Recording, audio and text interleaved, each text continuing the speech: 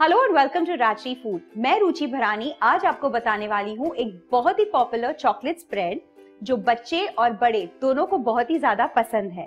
वो है homemade Nutella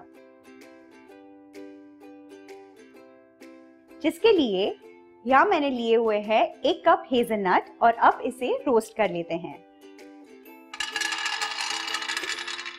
ये स्किन हेजलनट्स है।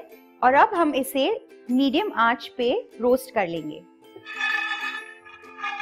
इसे कम से कम दो से तीन मिनट तक रोस्ट कर ले। इसे हम रोस्ट इसलिए करते हैं ताकि ये थोड़े कड़क हो जाए और पीसने में आसानी हो जाए और रोस्टिंग पे इसका एक जो नटी फ्लेवर है, वो भी काफ़ी एनहांस हो जाता है। और अब ये रोस्ट हो चुके हैं। गैस बंद करके हम इसे थोड़ा ठंडा कर लेते हैं। 10 मिनट हो चुके हैं और हमारे हेजलनट बिल्कुल ठंडे हो चुके हैं और अब हम इसे पीसेंगे।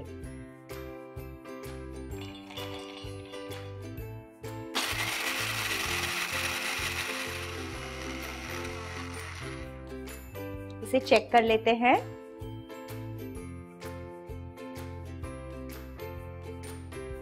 ये बिल्कुल बारीक पिस चुका है और अब हम इसमें बाकी की चीज़ें ऐड कर लेते हैं, जो है दो टेबल स्पून कोको पाउडर मैंने अनस्वीटन कोको पाउडर लिया है। Three fourth cup caster sugar या पाउडर्ड शुगर एक बड़ी चुटकी नमक। One teaspoon vanilla essence half cup oil आप वेजिटेबल ऑयल भी ले सकते हैं या तो फिर कोकोनट ऑयल भी ले सकते हैं। इसे हल्का सा हम स्टर कर लेंगे। और अब हम इसे पीस लेते हैं।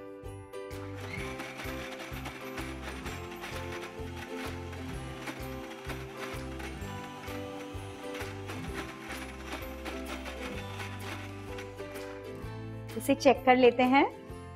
और ये मेरा स्मूथ न्यूटेला का पेस्ट तैयार है।